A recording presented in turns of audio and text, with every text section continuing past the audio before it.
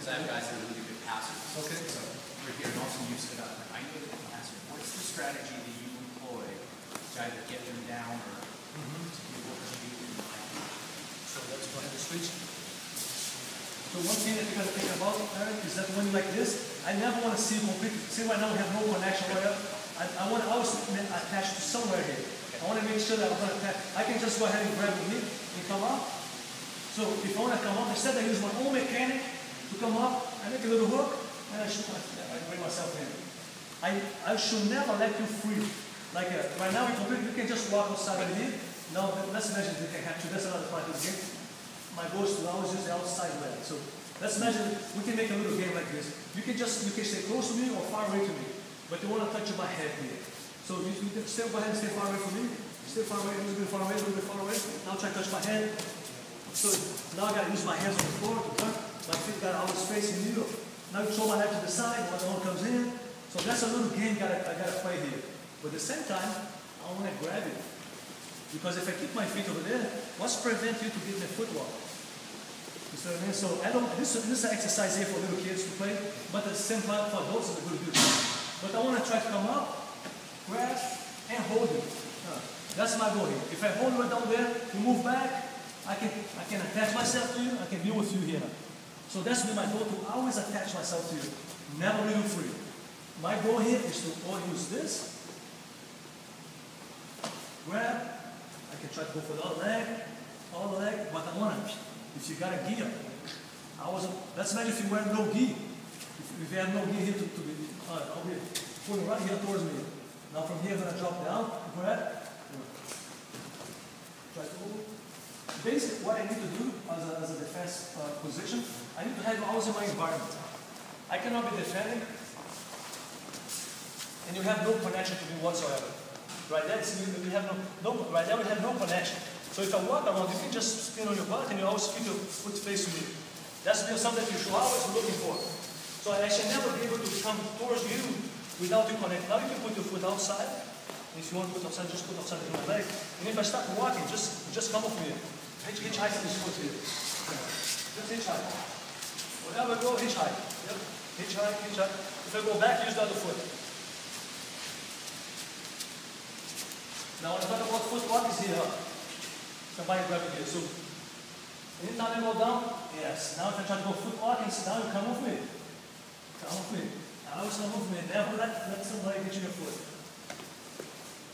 Basically when like this, that's what we're looking for here. We can grab. So if you grab somebody if you grab somebody's gear over here, I have my hand on the floor, I'm gonna use this leg here. This hand I'm gonna move myself sideways, you know. Try to go to the back, try to put it down, but my goal is to make sure that your hands get busy. So if I'm like this, if I put my hand on you, I want to move myself, I want to pull it down because I want to see my hands go down. Hands down, I can grab, I can try to grab, I can try to hold. That's a good idea. I just control your opponent. So if I'm in the bottom position, I don't want to have the guy completely attached from me. I want to catch you somewhere. I want to hold you somewhere and stay here. When you grab, bring the guy to the bottom. Não é the guy especially that passing guard. Because footbox is very almost impossible to defend if you don't connect yourself to it. That's the, the most danger. And if you bring this to the street, the most danger is somebody to kick you in the head, punch you in the head, punch you in the face, and you're like this. So what you do, you create this space, hours over there, you can kick the guy, you still have to raise, or you attack the guy. This be more like an for self-defense street application. When we learn those stuff, playing on the mat. The way that I, I do for kids class, I tell the little kids, say, you gotta go ahead and touch my head. I want to still grab my head. And the little kid comes like this, and you try to grab. So what you do, just don't let him grab your head. Just keep your foot on me. Ah, I cannot grab your head, let, let, let me move around. So I take his leg out and use the other leg. I try to catch your head. So you take a little kid and play with this game. This is a very good game to get your legs on, just to get your leg on, on the, on the jiu-jitsu environment. Keep the guy away. If you can block people from come towards you, touch your head, that's when you block the punch. You know, you're pretty much thinking about how to block a strike in the face. Okay, use your legs. You don't, that's, that's the way to strike, you don't stop the strike. But the whole idea is always grab. We, you know, grab an we need to have a, we have something called the distance between each other. We need to bring our opponents to our distance. And that's the main reason that I always thought about Jiu-Jitsu was so unfair.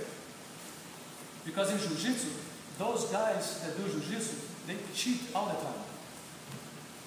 You know, because what, what they do uh, in a street fight, they don't go after you and try to punch you, try to headbutt you, try to kick you in the head. They just walk back. Hey, I want to fight with you. But I walk back. I want to fight with you. But they walk back. So you force the opponent to go towards you. When he comes towards you, you go towards him. I'm going to two bodies collide. That was my first impression of Jiu-Jitsu. Said, this is not fair. Because it's almost impossible to keep a Jiu-Jitsu guy if you want to fight, you know? If you're in the, in the street, have no referees, and you see a fight broken down the parking lot there, a good Jiu-Jitsu guy, hey, I don't want to fight with you. You just walk back. Walk back. One thing about the guys going to do is they got to punch me, got to kick me somehow. You know, he wants to fight me. I don't want to fight with you. When he comes in, boom, you grab him. That's the most unfair mechanic I've ever seen in my life. it's not right. If you play this right, it's just not right. You in the street want to fight with someone, but you just walk back. What kind of fight's there? You just inviting the guy. When he comes in, now you got two bodies coming in. So the key is to this guy here walk back, walk back, make this guy walk forward. Walk back, walk forward. When you walk forward, you collide. Now boom. That's totally fear. I felt that way. You know, if you anybody here is a boxer, I don't know if you guys ever tried it, but if you put a boxing gloves and try to punch somebody with this gun, they'll bait you to come in, and when you come in, they grab and put you down. Not what we see today in UFC, because we have referees, we have another guy who's a very jiu-jitsu experience, but tournament oriented only. So what he's trying to do? Oh, let me put you down. You're gonna do this in a fight? Good.